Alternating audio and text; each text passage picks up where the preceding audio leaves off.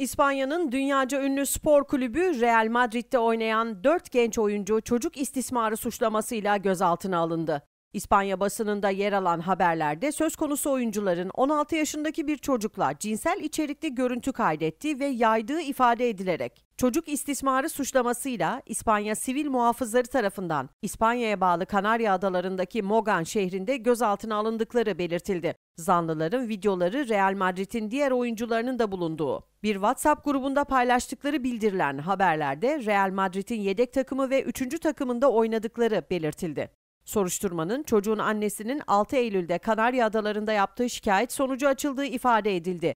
A takımda oynayan bazı futbolcuların da aralarında bulunduğu daha fazla oyuncunun olaya karışmış olabilecekleri düşünülüyor. Gözaltına alınan futbolcuların isimleri ise henüz kamuoyuyla paylaşılmadı.